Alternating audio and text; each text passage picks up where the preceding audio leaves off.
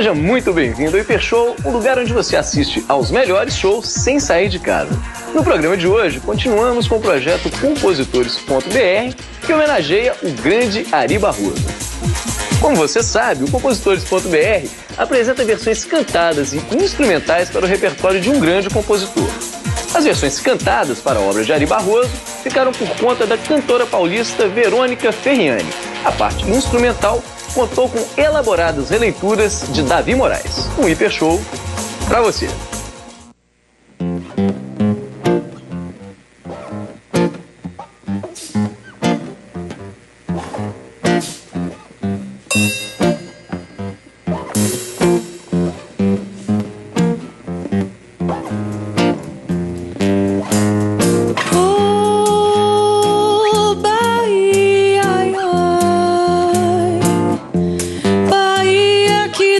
So.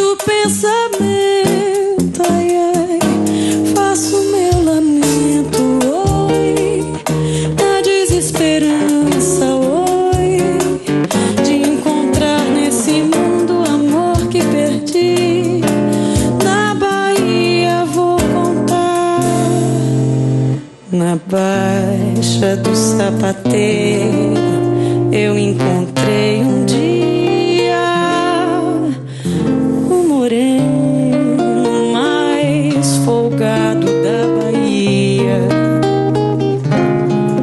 Pedi um beijo, não deu. Um abraço, sorriu, pedi a mão.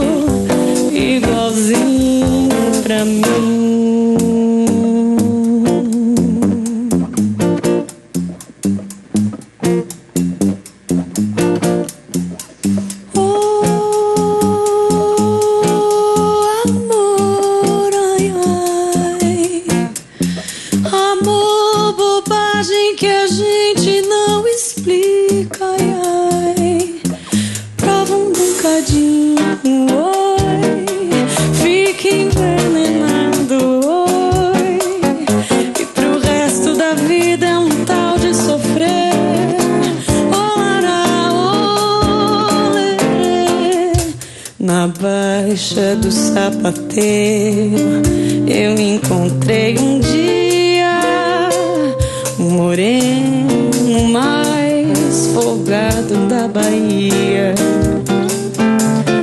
Pedi um beijo.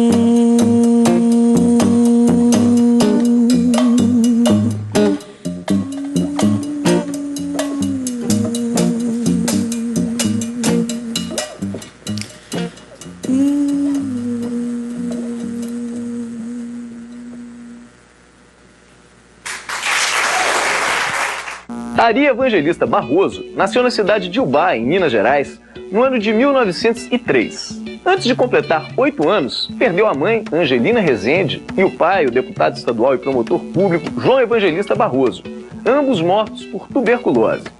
Foi morar numa casa simples com a avó e com uma tia viúva que dava aulas de piano. Tia Ritinha obrigava o menino a estudar três horas por dia. O método era original. Ela colocava um pires em cima de cada mão do aluno. Se o pires caísse, castigo. Não raro, castigos físicos.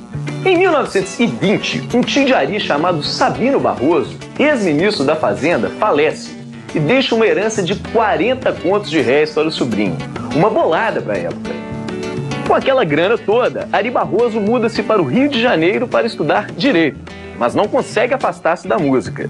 Aliás, a música é quem o afasta dos estudos para se lançar em dedicação exclusiva à boemia. Ele até termina o curso de direito, mas quase 10 anos depois.